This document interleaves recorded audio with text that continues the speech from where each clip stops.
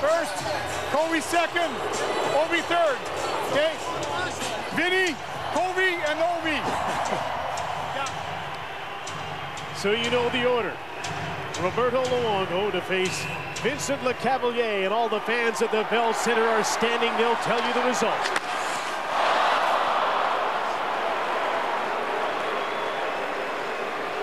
Well, one thing that Roberto Luongo doesn't do is he just doesn't bite. And I think Vincent Lecavalier felt he could maybe go five hole and just missed his shot. Nice job of Luongo just standing pat, not moving. So Tim Thomas will face Shane Doan. Shane's 4 for 14 in shootouts, but he won the elimination showdown last night. Goalies two, shooters nothing. And both try five hole. But this time Doan coming in from the side, unlike Lecavalier. Tried to get Thomas to move and open up. Thomas with some great patience, and the crowd coming to their feet now for number 27. Roberto, be careful, backhand shelf.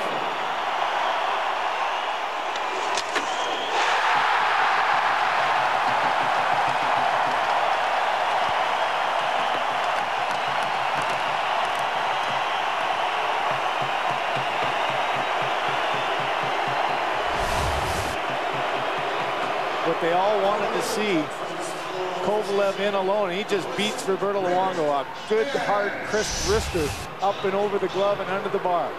Rick Nash to try and tie it up.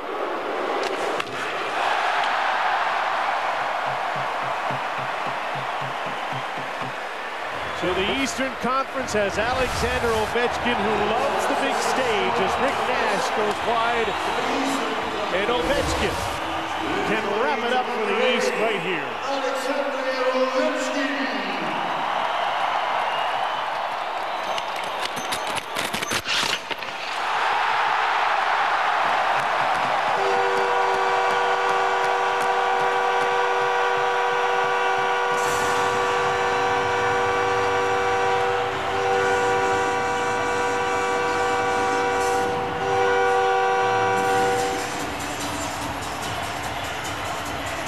They've set another All-Star record. That is the loudest celebration Yeah. I've ever heard at the end of a National Hockey League All-Star game.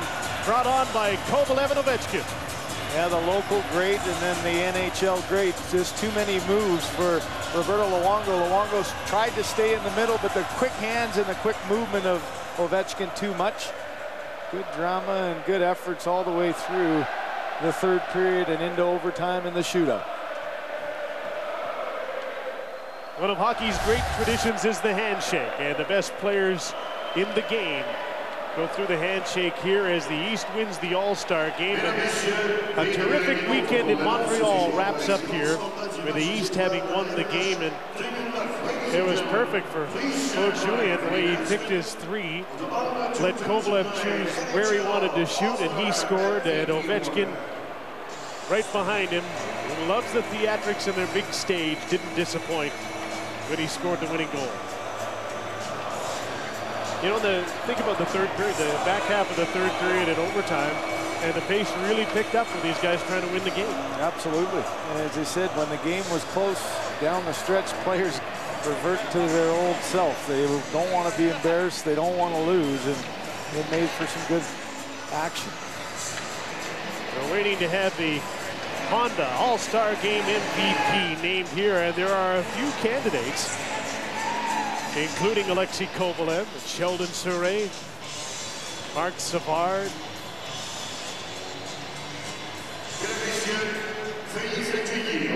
Et chef du bureau de direction de Honda to present the Honda 2009 NHL All-Star MVP Award. Please welcome the president and CEO of Honda Canada Incorporated, Mr. Manabu Nishimai. De même que le commissaire de la Ligue nationale de hockey, from the NHL, Commissioner Gary Bettman.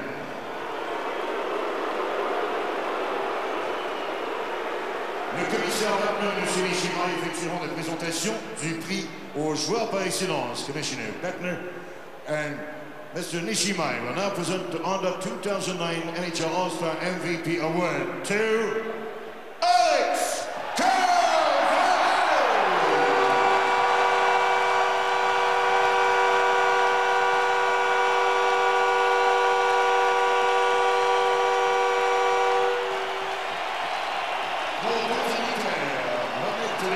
Véhicule Honda Ridgeline 2009 à uh, Alex Kovalev.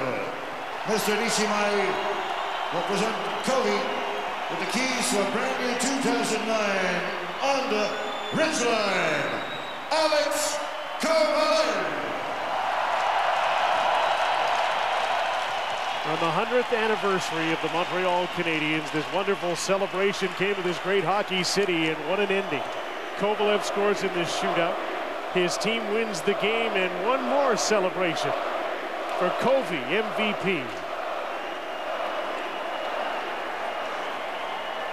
And that caps off a tremendous weekend in one of the best hockey cities in the entire world. Now the fun's over, or is it just beginning? Let's get on with the drive to the Stanley Cup playoffs. The real game is back on Tuesday. In this one, East beats West by one in a shootout on Hockey Night in Canada.